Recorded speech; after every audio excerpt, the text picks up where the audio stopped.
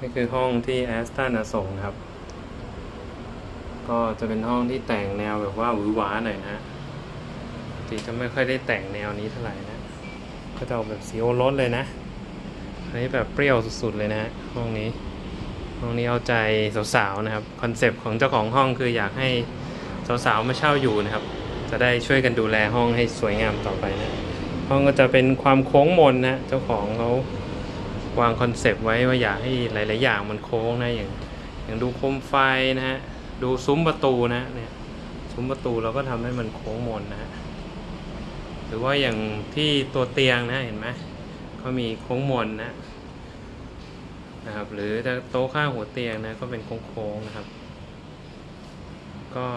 นู่นตรงโต๊ะกินข้าวนะก็เป็นโค้งๆนะก็ห้องนี้ก็จะคอนเซปต์ประมาณนี้แหละนะเป็น อนเซปที่ทำมาดูเก๋ดีนะฮะก็ใช้แบบสีแบบสักหลาดหน่อยๆ แล้วก็สีแจ๋นๆหน่อยนะฮะ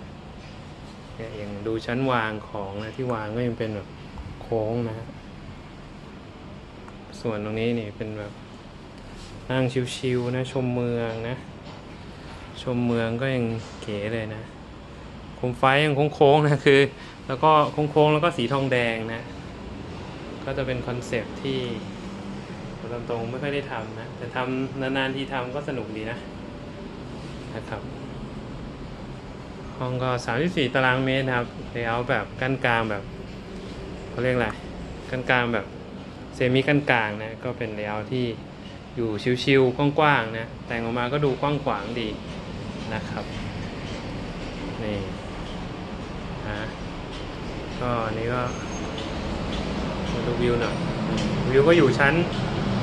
17 ของตึกนะฮะก็กำลังดีนะ ไม่ไม่ทึบไปที่ตะวันออกก็ดีไม่ร้อนตอนกลางคืนนะ โอเค ห้องก็ประมาณนี้นะ นี่จะเห็นว่ามี